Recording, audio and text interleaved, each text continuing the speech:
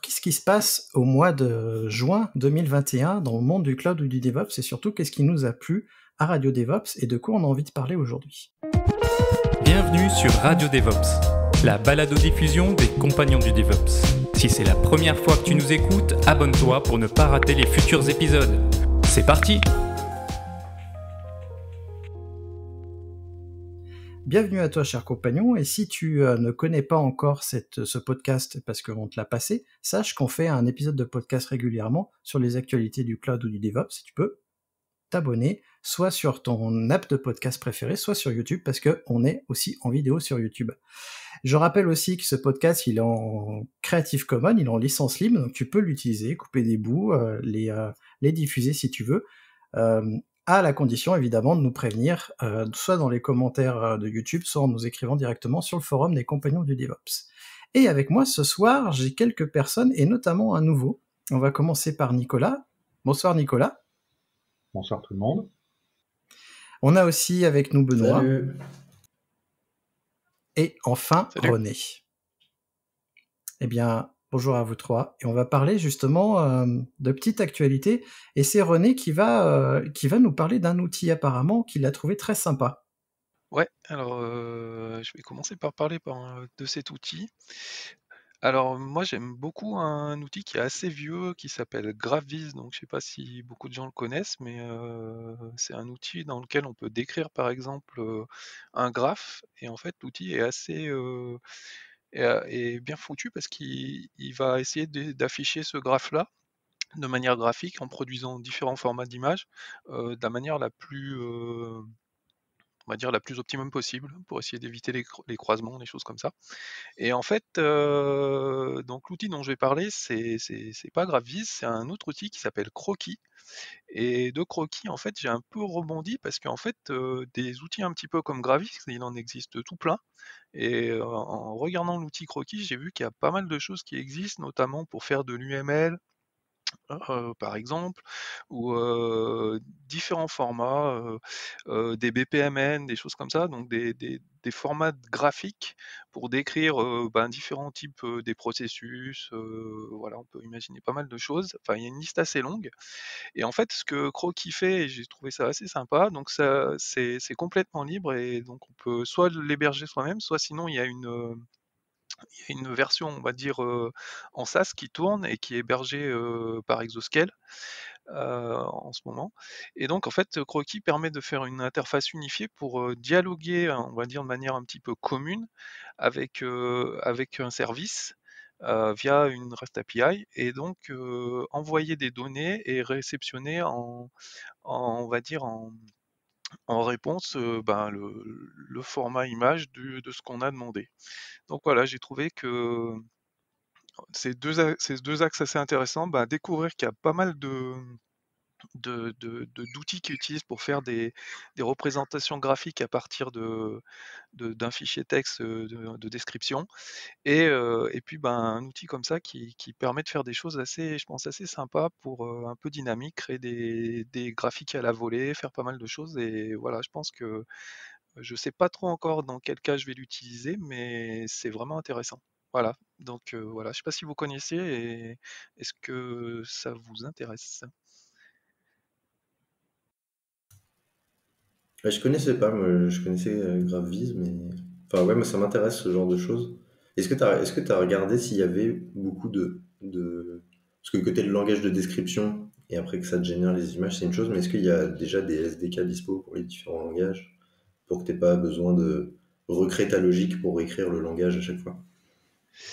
Alors, ça, je sais pas te dire à première vue, oui, ça va. Voilà, il faut, faut décrire en fait. Euh, enfin écrire un BPMN, c'est pas écrire comme un fichier dot euh, qui permet de faire un graphe, donc forcément la syntaxe est différente. Euh, voilà, là ce qui est proposé, c'est l'unification de l'API. En gros, euh, on décrit, on... Je vais, peut-être le faire un peu de manière simpliste parce que j'ai pas tout en tête, mais en gros, c'est le body qu'on va passer qui va être cette description-là. on passe d'une manière un petit peu uniforme en base 64, etc. Je rentre pas dans les détails. Et on reçoit la réponse. Voilà. c'est cool, c'est intéressant. Je me souviens une fois, j'avais joué avec euh, Gravis pour faire des graphes de dépendance sur des projets Python. Et, euh, là-dessus, ouais, j'avais trouvé ça vraiment pas mal. Je, regarderai. Merci pour la trouvaille en tout cas. Enfin, juste pour illustrer, donc nous, au travail, on utilise pas mal les BPMN pour, parce qu'en fait, BPMN, c'est un format qui est assez sympathique pour discuter, par exemple, avec des product owners ou des gens. Voilà, ça donne un langage un petit peu commun, graphique. Et il y a des outils, je pense notamment, nous, on utilise Camunda, qui est un espèce de orchestrateur, mais de processus et voilà, qui utilise ce langage de description. Donc, voilà, je pense que c'est intéressant de bah, c'est des formats qui sont, qui sont, enfin, qui aident à la compréhension et à l'échange entre parfois des gens avec le métier où on ne parle pas forcément la même langue.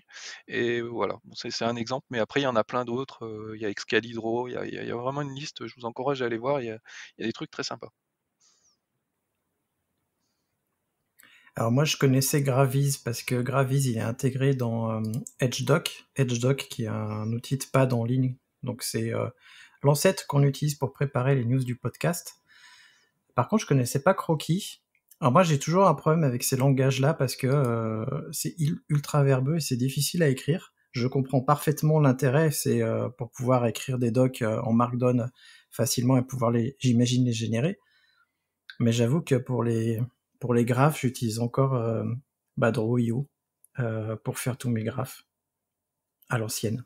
Ouais, bah, en fait, moi, j'utilise Draw.io, mais par contre, c'est vrai que bah, là, le, gros avantage, c'est que tu peux versionner tes graphes, etc., vu que ça devient du texte dans du Git. Donc ça, c'est c'est le côté. Euh, enfin, moi, c'est pour ça que j'aime beaucoup les, ce type d'outils. Un peu comme du LaTeX, un peu quelque part.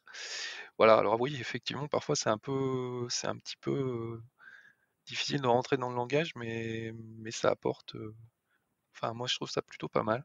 Et je, voulais juste ajouter voilà, que la personne apparemment qui a créé cet outil, c'est Guillaume Grossetti, que j'espère que j'écorche pas son nom, euh, que je connais pas personnellement, mais voilà. Et apparemment, il a beaucoup travaillé sur ASCII-Doc, et donc c'est un gros contributeur à ASCII-Doc et euh, l'auteur de Croquis. Et est-ce que vous savez s'il existe des interfaces graphiques pour justement générer ce type de, de langage? Oui, euh, à l'époque où euh, on avait un projet euh, qui permettait de, enfin qui était documenté avec ces outils-là.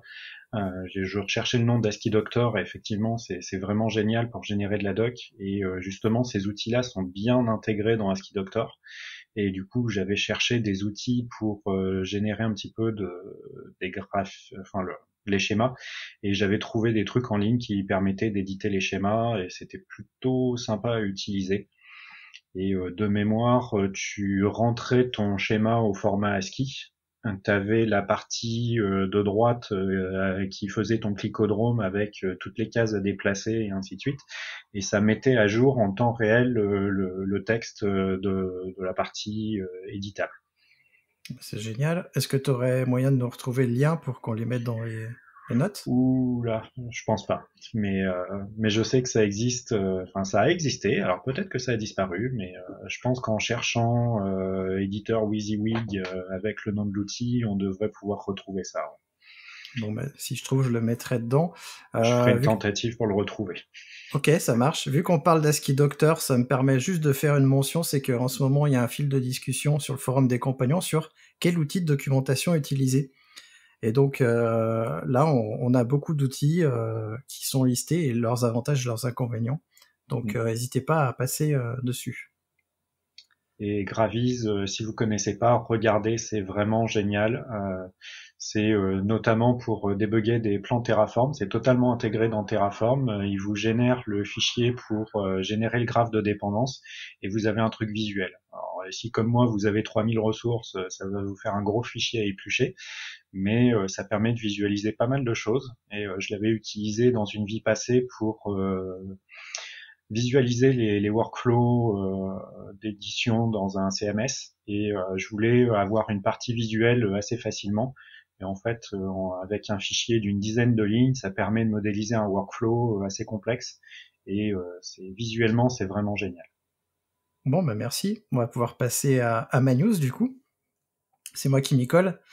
Donc en fait, euh, les numériques nous, nous, apprennent que le 1er juin 2021, il y a le Conseil national du logiciel libre, le CNLL, qui a rendu un rapport sur l'état des lieux en fait de la filière open source. D'après ce rapport, l'État français ne jouerait pas vraiment son rôle de moteur dans l'économie numérique pour la filière open source. Justement, en fait, c'est en ce moment, la France et l'Europe cherchent à obtenir la souveraineté numérique. On en entend de plus en plus parler. Et dans, dans, dans l'article justement des numériques, on apprend que le marché justement des logiciels libres pèserait 5,7 milliards d'euros. Ce que je ne sais pas si c'est si c'est le marché européen ou français. J'imagine que c'est le marché français. Mais bon. Euh, et donc le CNLL, il prône en fait une véritable politique industrielle du logiciel libre, ce quoi avec lequel je suis parfaitement en accord. Et d'après les 134 entreprises qui ont été interrogées, euh, elles estiment en fait en grande majorité que la France n'a pas vraiment de stratégie libre et que les administrations ne sont pas moteurs malgré le fait qu'on ait une loi qui est la loi pour la République numérique qui date de 2016. Alors, évidemment, tout n'est pas tout sombre parce que le rapport met à l'honneur une région, notamment la Nouvelle-Aquitaine, qui serait, euh, selon ce rapport, un excellent élève avec plus de 110 entreprises du libre gravitant autour de Bordeaux, La Rochelle et Pau. Ça fait quand même euh, pas mal d'entreprises. Et cette étude, elle pointe aussi l'inquiétude des entreprises liées aux GAFAM qui justement ont renforcé leur position pendant la pandémie. Et euh, le rapport propose quand même des, euh, des choses, et notamment la création d'une filière européenne du logiciel libre, des lois favorisant euh, l'achat des produits et services locaux, donc notamment des, administrations, de, des États et ce genre de choses.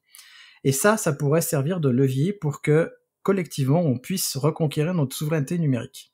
Alors cet article-là, il a fait écho en moi à euh, un, autre, euh, un autre événement qui a eu lieu un peu plus tôt, le 17 mai 2021. Euh, la stratégie nationale pour le cloud a été présentée par Cédric O et d'autres ministres. J'en ai fait une trouvaille du vendredi, c'est celle du 4 juin 2021. Et dans cette, cette présentation-là, on a notamment appris que on allait faire appel à des licences américaines pour assurer notre indépendance. Donc j'ai mis ces deux choses en, lien et j'aimerais savoir ce que vous en pensez. Et c'est surtout l'exemple d'OVH avec euh, le projet Anthos de Google qui a été mis en évidence. Donc euh, Anthos, c'est quoi? C'est euh, le fait de pouvoir déployer avec une API Google euh, en on-premise. Donc euh, c'était une licence qui était super chère, mais euh, au moins tu pouvais le faire chez toi. Donc c'était accessible pour des grosses boîtes. Et là, en gros, OVH a passé un partenariat avec Google pour pouvoir proposer à des clients français de déployer à la GCP sur des infras gérés par OVH. Il me semblait qu'il y avait une volonté de rendre Anthos libre. Euh, T'es sûr? Euh, dans l'article que j'ai lu euh, à ce sujet-là il y a quelques mois, OVH euh, mettait en avant le fait qu'il voulait œuvrer pour le libre, justement sur ces, sur ces choses-là. Je sais pas si, si ça va être le cas, mais en tout cas, ça je l'ai lu. Alors ça fait une parfaite transition avec un sujet que je voulais un petit peu évoquer, c'est autour de tout ce qu'il y a eu euh, par rapport à Anthos et OVH, euh, ça a pas mal trollé un petit peu dans tous les sens, avec pas mal de gens qui ont craché sur OVH, c'est des traîtres et ainsi de suite. Bon, après, est-ce qu'ils ont raison ou tort Ça, l'avenir nous le dira.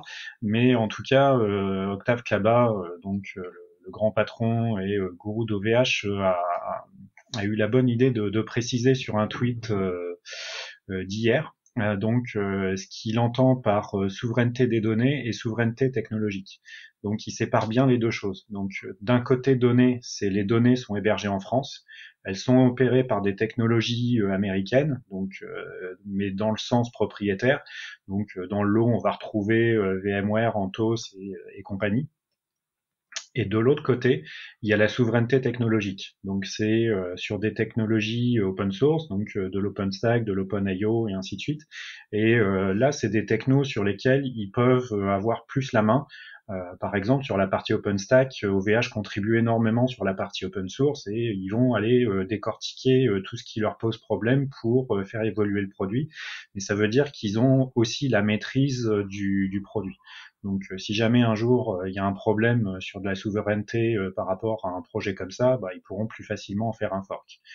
bon, après, est-ce que c'est, est-ce qu'on est vraiment protégé Dans toutes les techno open source qui citent, la plupart sont quand même américaines. Mais bon. Ouais, après ça, c'est de l'open source, donc ça reste auditable, donc par rapport à du propriétaire fermé. Donc c'est c'est un peu moins grave. Après, est-ce que c'est ouais, est-ce réellement américain? C'est quand même beaucoup de contributeurs tout autour de la planète, donc bah, le projet à OpenStack, à l'initiative, c'était Rackspace, je crois, qui l'avait libéré. Maintenant, la fondation, il y a quand même beaucoup d'Américains dedans.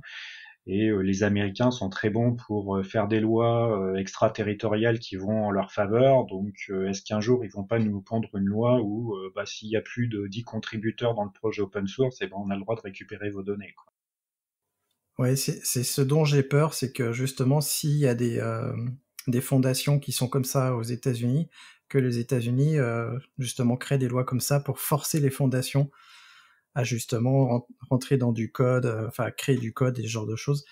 Là, euh, pourra se poser les questions de est-ce que la fondation doit rester américaine, est-ce qu'elle doit pas partir?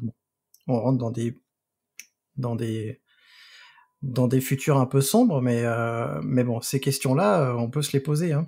vu que pour l'instant ils s'attaquent aux données et aux entreprises qui hébergent les données. Demain, on ne sait pas s'ils vont pas s'attaquer aux entreprises qui créent des logiciels en plus ils savent le faire sur des technologies. Euh, c'est à l'époque où c'était Trump, ils ont empêché euh, Huawei d'accéder à Android et à certains euh, certains chipsets. Donc, s'ils savent le faire pour des Chinois, c'est le jour où le président français va se fâcher avec le président américain, ils vont bien trouver des trucs pour nous empêcher de travailler.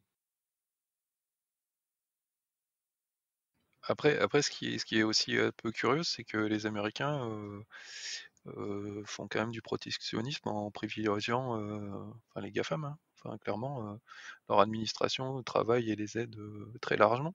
Et nous, bah, je sais pas, j'ai l'impression qu'on ne veut pas forcément faire la même chose. Moi, ça je trouverais ça normal que, notre État s'appuie majoritairement sur, sur des entreprises françaises voire européenne, quoi. Mais voilà. Après, c'est sûr qu'aujourd'hui, il y a un déficit en termes de, ouais, techniquement, les Américains sont peut-être plus avancés, sachant qu'il y a quand même énormément de, de, solutions et d'innovations qui viennent de l'Europe. C'est-à-dire qu'il y a beaucoup d'idées qui viennent de l'Europe. Après, eux, ils ont une capacité à mettre ça en œuvre peut-être plus meilleure que nous. Et voilà, moi, je, enfin, je, je, je comprends pas, je comprends pas que que, notre État voilà, pousse pas plus, euh, ne pousse pas plus euh, les boîtes françaises et, et, donne pas plus euh, de moyens aux, boîtes françaises en voilà, sachant que c'est in fine c'est quand même quand même du travail local pour en grande partie local pour, pour sur, sur, sur le territoire voilà je comprends pas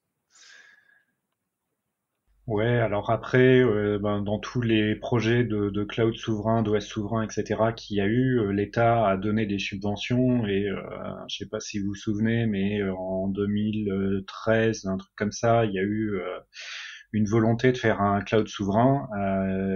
il y a deux entreprises de grosses boîtes françaises qui se sont tapées dessus, donc du coup le gouvernement a dit bon allez arrêtez, on va couper le budget en deux, vous avez chacun la moitié du pognon.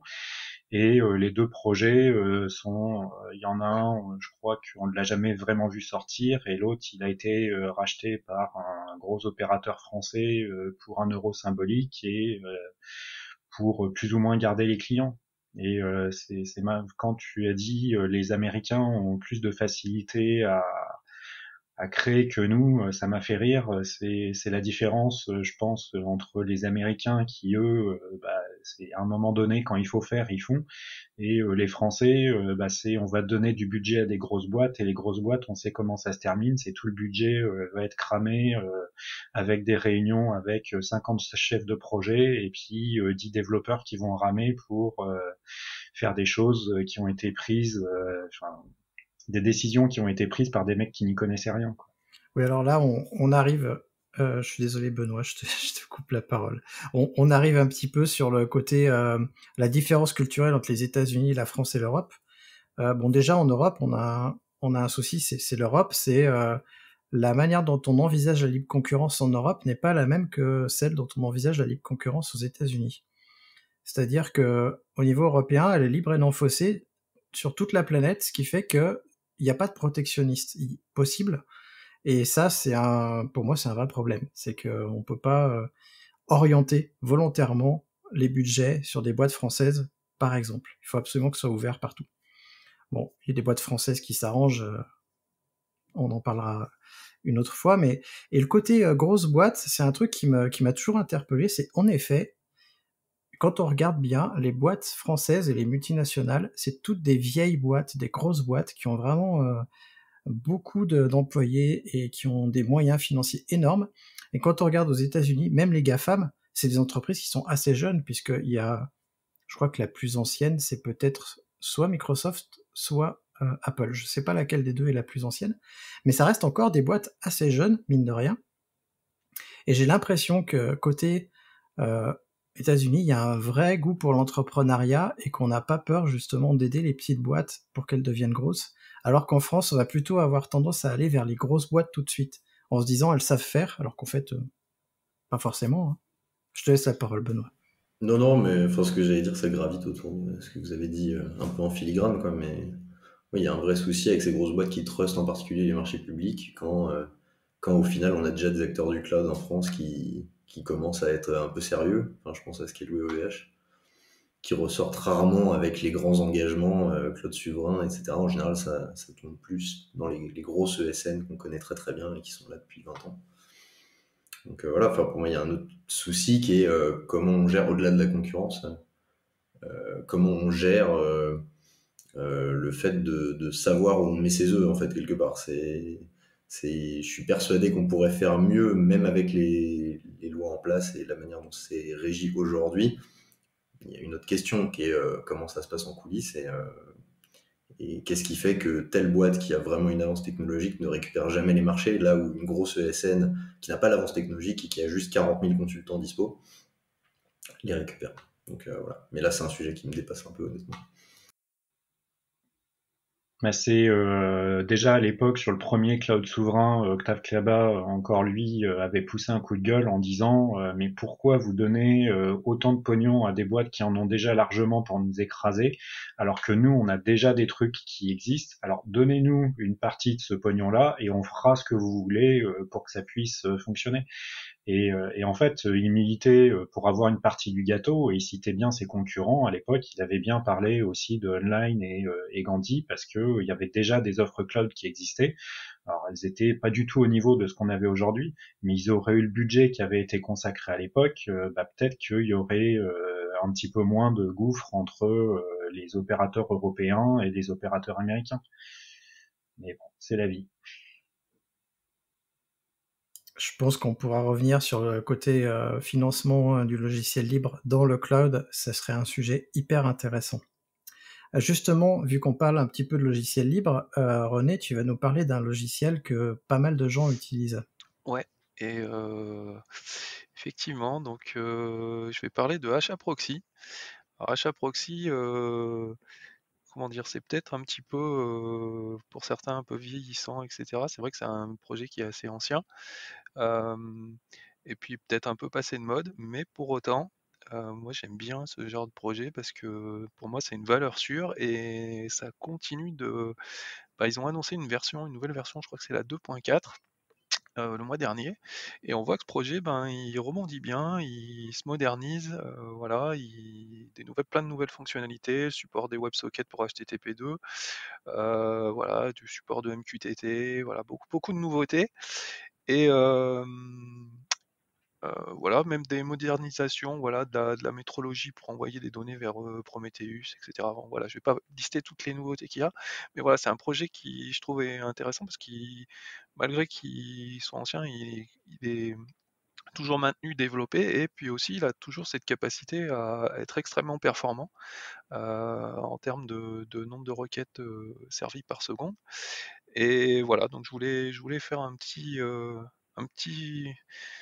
un petit sujet sur HAProxy parce que moi je trouve que on en entend peut-être moins parlé que d'autres outils un peu plus à la mode, mais, mais c'est, pour moi, c'est vraiment voilà, c'est un, outil assez génial et, et voilà, c'est voilà, je, vous laisse la parole pour si vous partagez ou pas.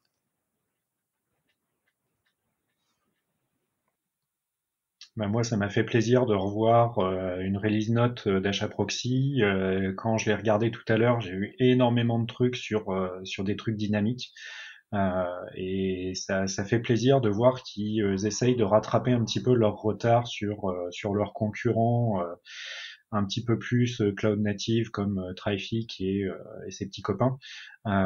mais de toute façon, c'est proxy ça reste toujours la référence. Et si tu as besoin d'encaisser beaucoup de trafic, je vois pas ce que tu peux mettre d'autre à part du proxy j'en ai fait, je me rappelle que les benchmarks des euh, load balancers, euh, que ce soit HAProxy, Nginx ou, euh, ou Traffic, c'est toujours HAProxy qui est euh, le plus véloce en fait dedans. Après, moi, j'avoue, je l'utilise pas, sauf s'il est dans une boîte noire, parce que j'ai un peu de mal avec sa, configuration. j'ai une préférence pour Traffic, pour son côté découverte de service en fait, mais je sais qu'il est ultra efficace parce que venant du monde OpenShift, alors je parle aux gens qui font du Kubernetes et de l'OpenShift, venant du monde OpenShift, il y a une ressource qui n'existe pas dans Kubernetes qui s'appelle le routeur. Et le routeur derrière, par défaut, c'est HAProxy et Dieu sait qu'il est euh, rapide. Si on veut, on peut le remplacer par un Nginx, mais selon moi, il n'y a pas besoin. Donc, euh, je suis curieux de voir, euh, de voir ça, surtout qu'en plus, le côté dynamique, je pense que c'est une très très bonne chose. En fait, tu vas être assez content parce qu'ils viennent, ils ont sorti aussi un Ingress controller, enfin un Ingress pour euh, Kubernetes euh, basé sur HAProxy. Donc ça va pouvoir s'intégrer assez facilement dans, dans Cube, j'imagine. Et eh ben, on va pouvoir passer du coup à la news suivante et c'est Benoît qui va nous parler d'authentification unique. Ouais, effectivement, euh, bah, c'est un, un tweet d'Octave Klaba, en fait, euh, encore lui, euh, qui annonce. Alors, c'est pas encore une news officielle, il me semble, c'est plus du teasing, mais ça ne saurait tarder. Il parle du, d'un service d'autante commun à tous les, tous les produits OVH. donc, ça serait pas mal, notamment, il me semble que. donc, il appelle ça IAM, alors du coup, je sais pas si c'est directement pour pour, euh, faire référence au, service d'Amazon euh, ou pas. Mais euh, ce qui est intéressant aussi, c'est qu'a priori, tu pourrais déléguer ton notante aussi à un, service d'identité interne. donc ça, je pense qu'il y a plein de boîtes qui attendent ça pour, pouvoir, enfin, pour éventuellement bouger leur workload vers, OVH. Et surtout, ce que je trouve pas mal, c'est que c'est un, des reproches que j'ai souvent entendu vis-à-vis d'OVH par rapport à leur offre pour dire que bah, voilà, un, des nombreux exemples euh, où, on entend souvent que les, les, cloud providers français sont en retard. Euh, donc voilà, je trouve que c'est plutôt une bonne nouvelle, notamment en termes de souveraineté. Euh, si on veut imaginer déplacer des services importants sur OVH, c'est un des trucs qui me semble important. Et la petite anecdote technique que moi je trouve intéressante, c'est que si je comprends bien le tweet, alors bon, il y a deux images et une courte description, hein, donc j'ai pas de détails, mais si je comprends bien le tweet, en fait, ils auraient basé la, réplication géographique des données avec euh, CockroachDB. Euh, et je sais pas si vous connaissez CockroachDB, mais euh, enfin c'est une base.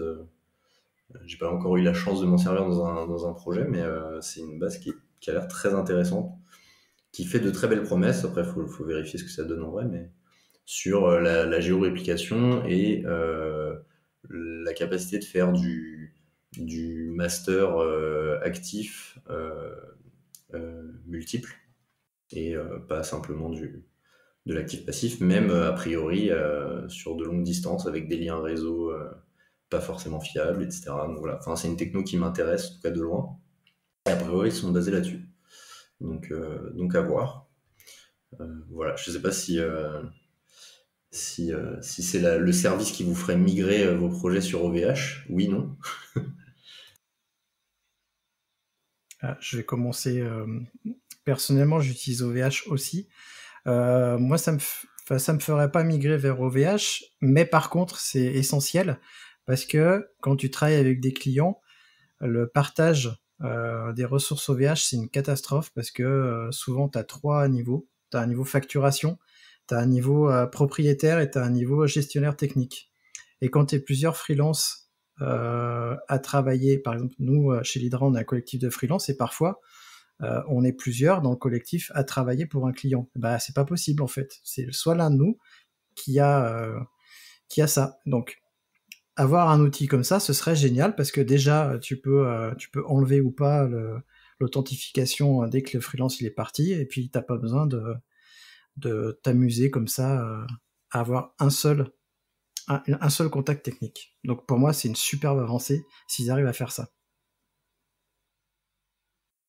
Alors moi aussi, je suis déjà beaucoup euh, sur de l'OVH, euh, mais euh, pour avoir fait de l'AWS plus récemment, leur service IAM, il est vraiment très très bien et j'espère que s'ils sont inspirés de l'IAM d'AWS, ils sont pas juste inspirés de la partie authentification parce que la partie policy pour tout ce qui est délégation, elle est vraiment très très bien. On peut aller très finement dans les dans toutes les ressources. Et ça, c'est clair que c'est un gros truc qui manque chez OVH. C'est euh, soit tu peux tout faire, soit rien. Euh, et euh, l'autre truc, c'est aussi, je fais beaucoup d'OpenStack chez OVH. Alors là aussi, tu peux créer des autres utilisateurs. Alors du coup, c'est super pratique parce que tu as ton utilisateur dans le manager OVH, tu as ton utilisateur OpenStack, tu as ton utilisateur pour d'autres briques. Donc tu as des comptes de partout et euh, tu as des ACL plus ou moins fines. Donc euh, là, c'est pareil, au niveau des ACL OpenStack, euh, c'est déjà bien qu'on puisse le faire, mais soit tu es administrateur sur, la partie compute, sur la partie object storage, mais tu peux pas descendre facilement, assez finement. ils vont te dire que tu peux aller farfouiller dans les API, mais bon, c'est s'ils s'inspirent de la partie AWS, là, ça sera vraiment super bien je voulais juste dire un mot justement sur l'API vu que tu la mentionnes. Ce qui m'étonne quand même, c'est que sur l'API, tu peux euh, donner finement des droits à un, compte API à un token, et j'ai jamais compris pourquoi tu pouvais le faire sur l'API et pas ailleurs. Bon, bref. Donc, euh, et toi, René, alors, qu'est-ce que tu en penses? Bah, hum, Ouais, je pense que bah, le, partie IAM, c'est quand même le, critique. Hein. Enfin, voilà, je pense que c'est indispensable pour, euh, pour, pour, pour, pour ce genre d'acteur. Donc oui, c'est plutôt une bonne nouvelle. Après, dans quelle mesure... J'ai l'impression qu'ils ont fait donc une solution plus ou moins custo, si j'ai bien compris. Et voilà, je sais pas dans quelle mesure ils, auraient pas pu s'appuyer sur des choses qui existent déjà pour faire un peu ce genre de choses-là et, et, les étendre. Je pense par exemple à un produit comme Keycloak, euh, je sais pas, bon, j'imagine qu'il y a un certain nombre de raisons pour lesquelles ils n'ont ils pas pu faire ça, mais, voilà, c'est là, c'est un peu l'interrogation que j'ai. Là, je pense que justement, comme ils avaient plusieurs types de services avec chacun leur, euh, leur système d'autante, ils ont certainement dû aller dans le, dans le custo à chaque, à chaque étape. Quoi. Enfin bon, j'en sais rien, mais je me dis que tu vois, si tu mets, si tu, si tu sors Keycloak du paquet, tu dis bon voilà j'ai tel cas tel cas tel cas et il y en a pas un seul qui se ressemble euh, bon t'as besoin d'adapter les choses quoi. Forcément. Et sinon, euh, c'est marrant que euh, tu reparles d'API, Christophe, mais en fait, comme tu peux mettre des trucs hyper fins sur chaque token, euh, tu peux créer des tokens avec certains droits pour tes prestataires et euh, du coup euh, ça leur impose de passer par l'API mais moi c'est ce que je fais avec certains de, de mes clients puisque je suis freelance aussi à côté et en fait ils me donnent des droits sur certains morceaux quand ils veulent pas que j'ai accès à la console pour pouvoir aller tout leur casser chez eux Ouais, je suis d'accord. Mais comme moi, je travaille avec de l'infra à Scott, j'ai besoin d'un accès à, à, Horizon et à OpenStack. Et ça, ça passe par un autre token différent. Et ça, c'est encore un autre token euh, auquel tu peux rajouter des droits encore différents. Ouais, donc ça commence à faire beaucoup en fait. Et sinon, pour rebondir sur euh, la base de données euh, du type Couch, moi j'en ai géré pendant un petit moment et effectivement pour tout ce qui est réplication, c'est super bien foutu. Et c'est tellement bien fait que tu peux avoir une synchro sur une base de données, revenir trois ans après, relancer la synchro là où t'en étais. Et en fait, il va se redébrouiller pour faire de la remédiation sur la plupart des objets. Donc si t'as pas eu de conflit, ta base de données, enfin les deux vont être synchronisés et tout va bien. Alors ces derniers temps, on a eu des petits soucis d'internet puisqu'il était tout cassé, n'est-ce pas? Oui. Nicolas. Madame Michu, elle m'a appelé et elle m'a dit "Allô Nicolas, internet, il est tout cassé." Ça m'a rappelé euh, quand je faisais du support pour un opérateur français où les gens m'appelaient "Allô, internet, il est cassé." Alors non, je vous rassure, c'est euh, si internet est cassé, on le saurait. C'est il y a juste vous. Donc euh, bah là, c'était à peu près la même chose, mais de l'autre côté du tuyau. Donc euh, on a eu un petit incident euh, chez Fastly. Alors bon, c'est un petit incident, ça a duré une petite heure, mais pendant une heure, tout était cassé. J'étais en train de passer une commande d'un bouquin sur Amazon, bah j'ai pas eu l'image. Je me suis demandé ce que c'était, c'était super lent, et c'est quand même très rare que Amazon soit très très lent. Et euh, alors en réalité, c'était pas Amazon qui était lent, c'était juste les images pour certaines boutiques en ligne qui font passer leurs assets par euh, par là. Et euh, bah c'est marrant parce que ça nous a un petit peu rappelé quelques incidents d'OVH où quand il y a un opérateur qui qui tombe par terre, il y a une partie de l'internet qui est dans le noir. Et bon, bah, beaucoup de journalistes ont titré Internet, il est tout cassé alors qu'en fait, euh, bah non, pas tant que ça. Euh, et euh, bah, si ça vous intéresse de creuser un petit peu, je vous conseille d'aller lire un, un, excellent article de Stéphane Brosmeyer. J'espère que j'estropie pas son nom.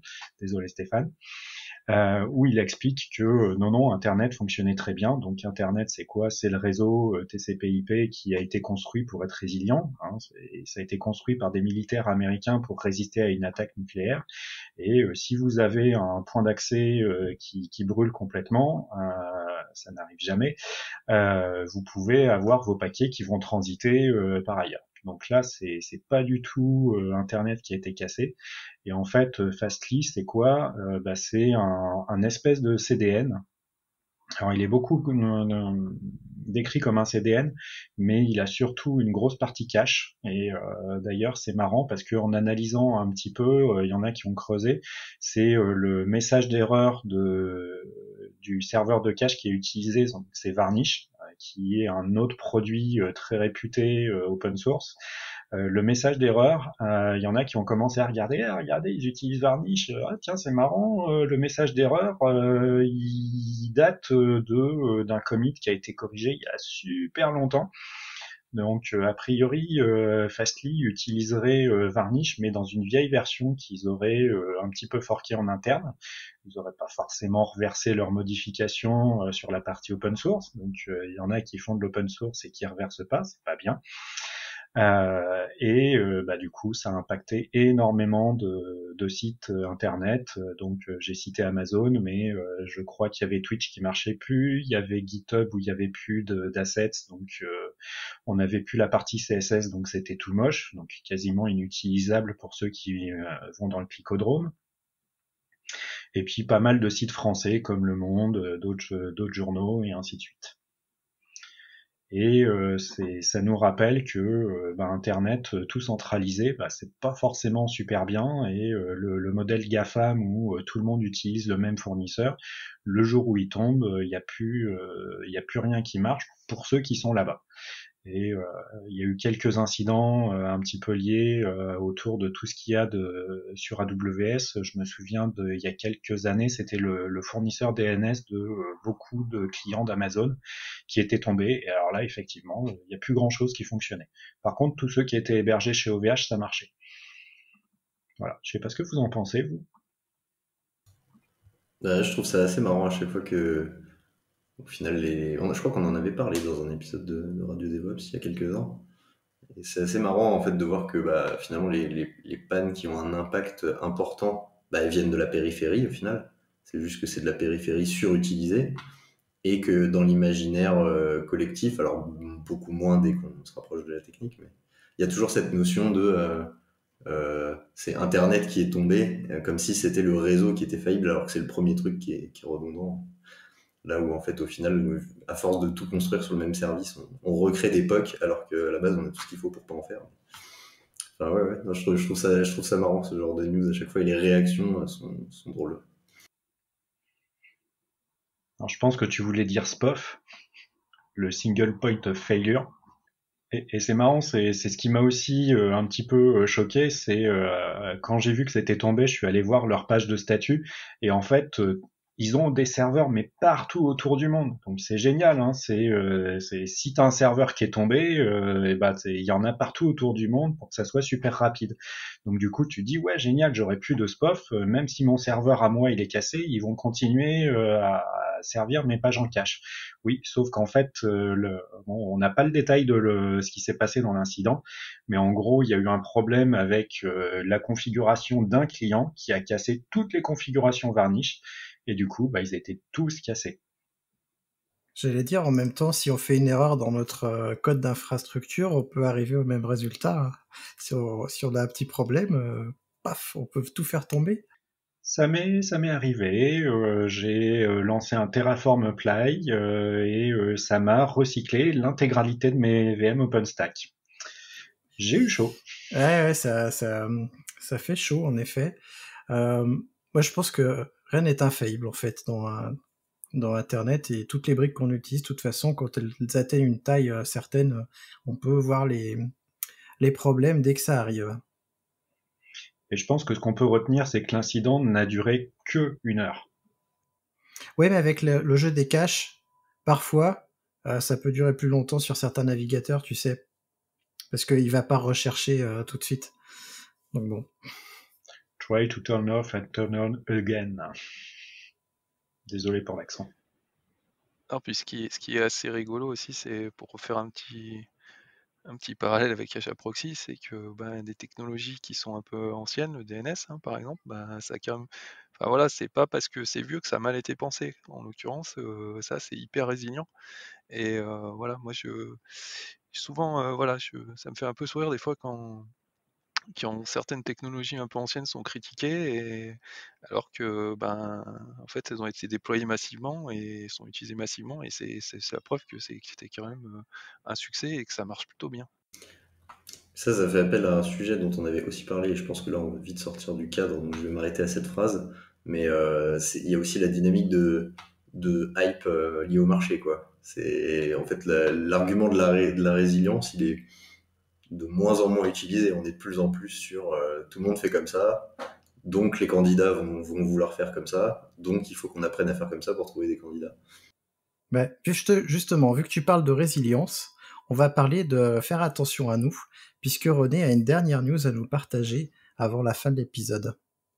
Oui, alors euh, c'est euh, donc c'est une news qui vient d'un d'un blog, en fait, du blog de Je suis un dev, qui est un blog écrit par euh, Mehdi, qui est, euh, qui est français, mais qui vit au Canada et qui travaille pour Ruby, si je dis pas de bêtises.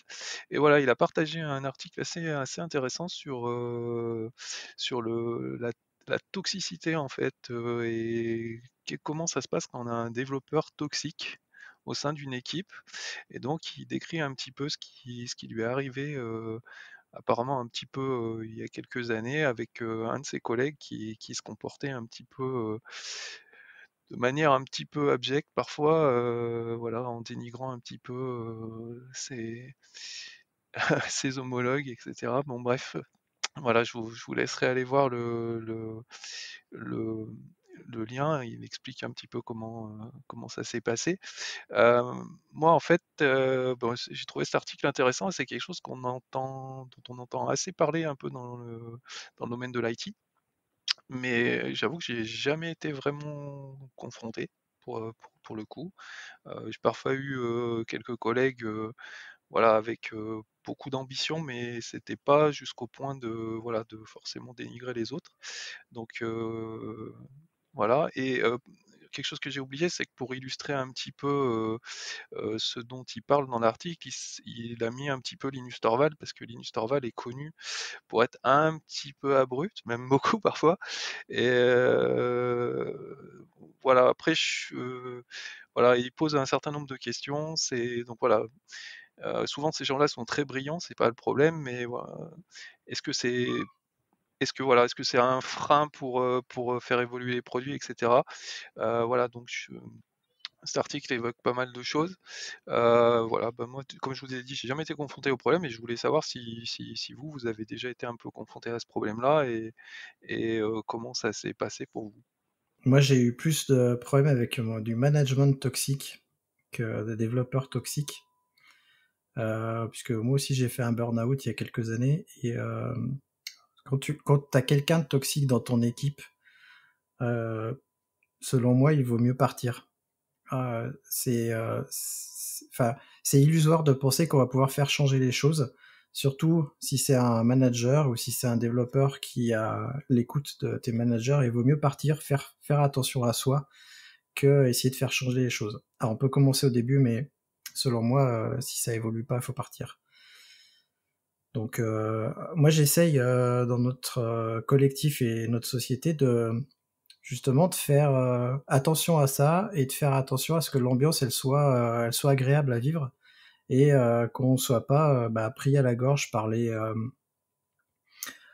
par les, par les échéances et ce genre de choses. Alors, ce qui explique que parfois il y, y, a des choses qui dérivent, mais bon, le bien-être au travail, ça nous permet bah, d'être bien. Et comme on y passe beaucoup de temps quand on est développeur et quand on est ops, eh ben vaut mieux qu'on soit bien. Parce que si on n'est pas bien, euh, on met du temps à s'en remettre. Moi, j'ai mis deux ans à m'en remettre de mon burn-out, deux ans pendant lesquels je travaillais euh, très peu. Donc euh, autant vous dire que c'est chaud, quoi. Si vous n'êtes jamais passé par là, le burn-out, c'est une catastrophe. moi, je peux pas, je peux pas témoigner du, du burn-out, heureusement pour moi. et j'ai, j'ai au moins un exemple en tête qui est, je pense, pas aussi extrême que ce qui est décrit dans l'article, parce que j'ai lu l'article pour le coup, c'est assez, assez calibré comme sujet, mais, euh, euh, mais j'ai déjà eu le cas, alors pas côté management justement, côté euh, tech, de personnes qui, oui, qui se permettaient, voilà, qui se permettaient de, de, de faire valoir leur supériorité technique d'une manière assez, assez brute notamment avec les plus récents dans l'entreprise. Euh, donc c'était pas aussi extrême parce que la personne, euh, on va dire, adoucissait son discours avec les plus t'étais ancien, plus elle adoucissait son discours. Donc tu finissais par réussir à t'entendre à peu près avec.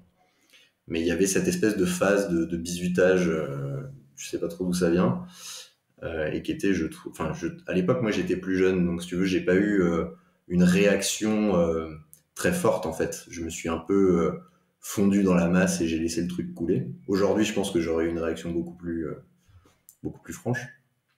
Euh, mais voilà, mais ouais, ouais, enfin, je, j'ai retrouvé quelques trucs dans l'article et je pense que ça arrive. Après, tous les cas sont différents. Là, a priori, la personne dans l'article, elle est très. elle vise une espèce de promotion à un moment donné et puis ça explique une partie de ses comportements, si j'ai bien compris. Euh, dans mon cas, enfin moi c'est comme ça que j'ai lu l'article, hein, peut-être que j'ai pas bien interprété. Dans mon cas, c'était pas comme ça, c'était pas pour ça, c'était juste pour le principe de dire je suis euh, la tête pensante. et voilà, donc ouais, je pense que ça arrive et il faut y faire super gaffe. Et il faut faire super gaffe aux autres aussi, je trouve. Enfin, euh, tu vois, quand ça t'arrive à toi, bien sûr, tu, rends compte, enfin, tu te rends compte qu'il faut réagir.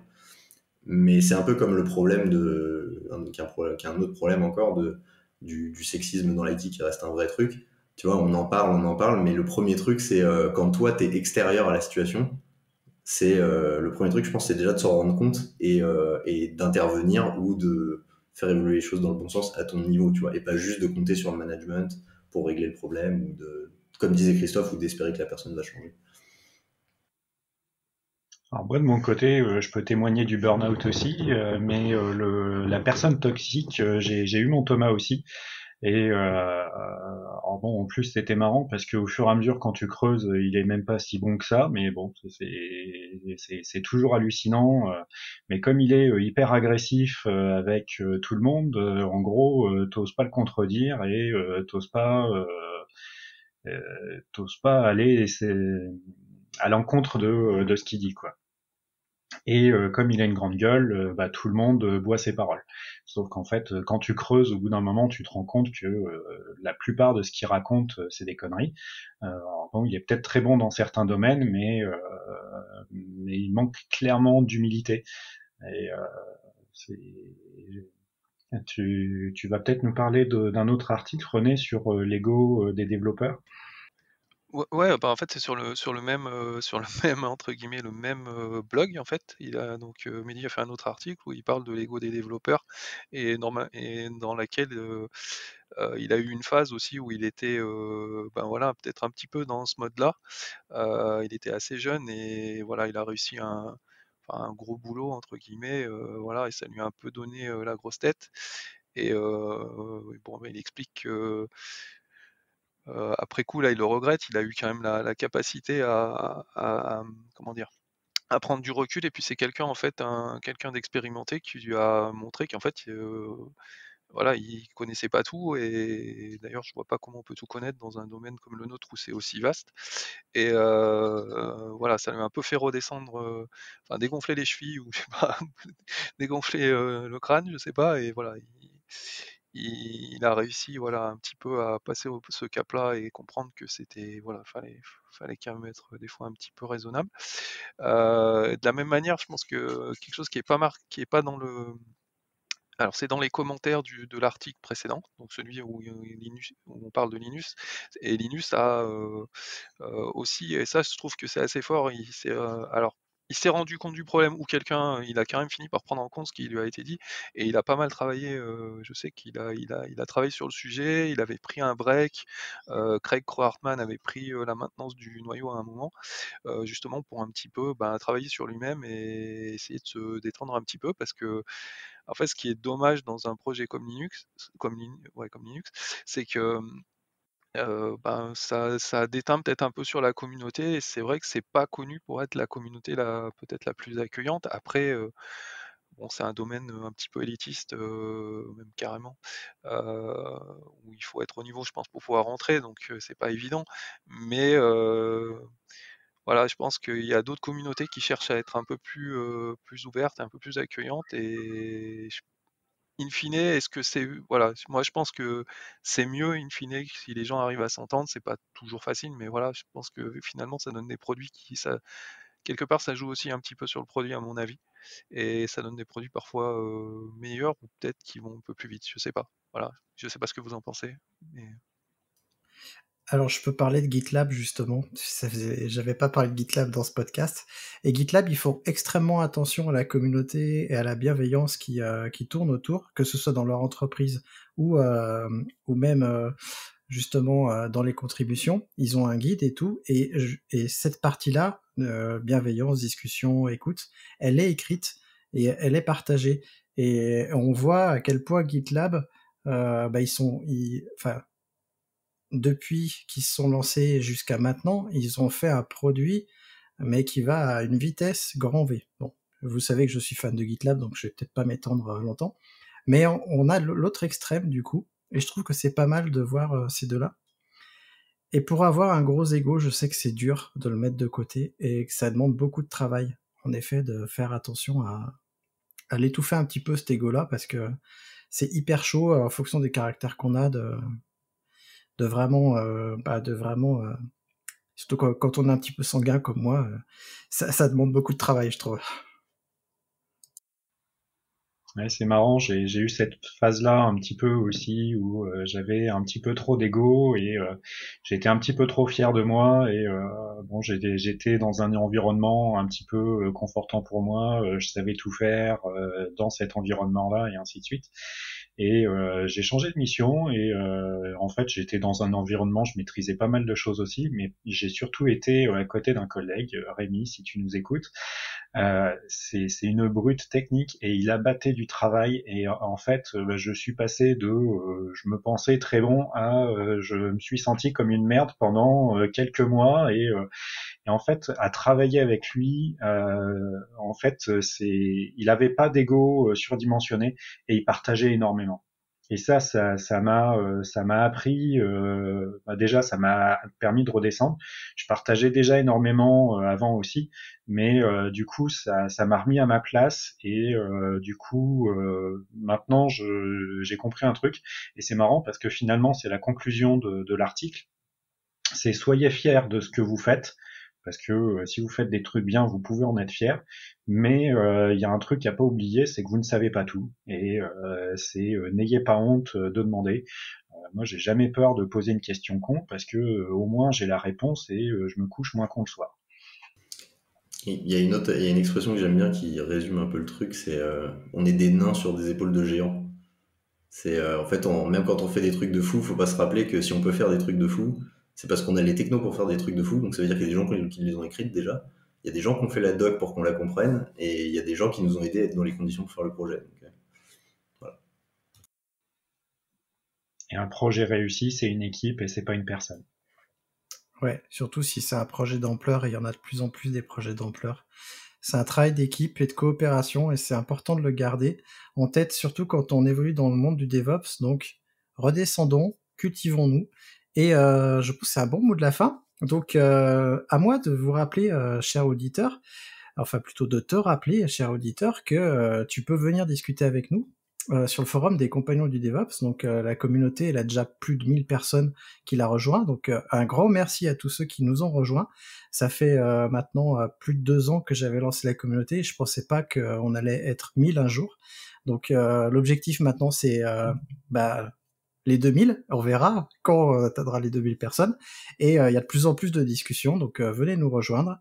Et, d'ailleurs, vous en pensez quoi euh, tous les trois? Ce sera peut-être votre mot de la fin. C'est euh, la communauté des compagnons. Euh, qu'est-ce que ça ça vous a apporté et qu'est-ce que vous en pensez? J'ai commencé par Benoît. Qu'est-ce que ça m'apporte?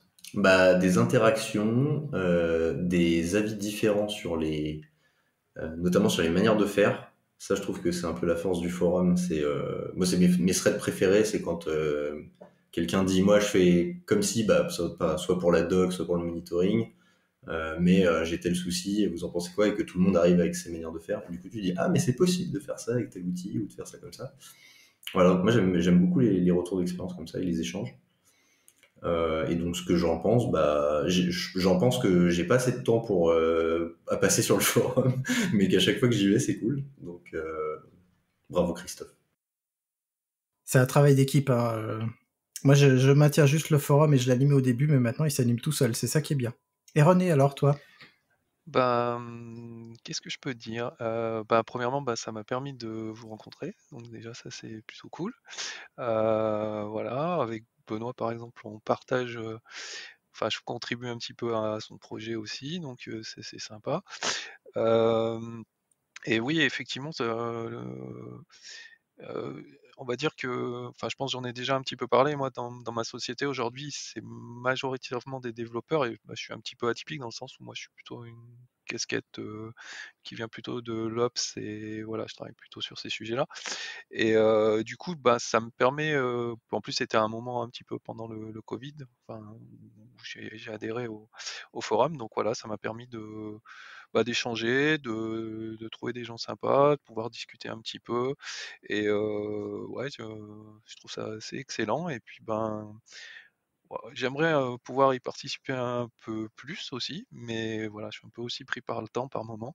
Et mais voilà, je trouve ça super et j'espère que qu'on va avoir plein de nouveaux contributeurs sur le sur le forum, mais aussi au podcast, ça serait sympa. Des contributeurs et contributrices. Bien sûr, je suis désolé.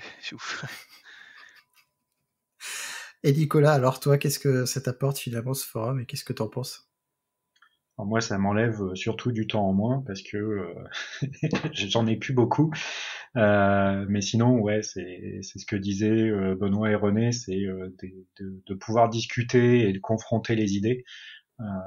mais malheureusement, bah, comme vous, j'ai pas suffisamment de temps pour pouvoir contribuer autant que je le voudrais.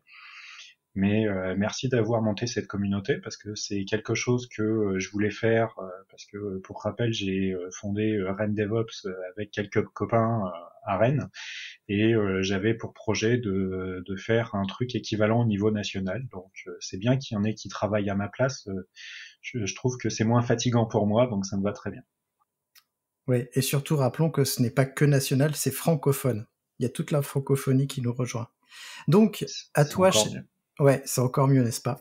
Donc à toi, cher compagnon, si euh, tu veux nous rejoindre et si tu veux te cultiver avec nous sur le forum, bah, viens t'inscrire, c'est le premier lien en description. Et moi, je vous dis à tous à très bientôt pour un prochain podcast. Merci d'avoir écouté Radio DevOps.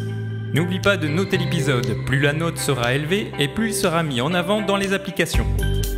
Tu peux aussi le partager, ça nous aidera à le diffuser et à rendre le mouvement plus visible. Si tu as envie de discuter du mouvement, alors rejoins-nous dans la communauté des compagnons du DevOps. À bientôt La balado-diffusion des compagnons du DevOps est produite par l'Hydra.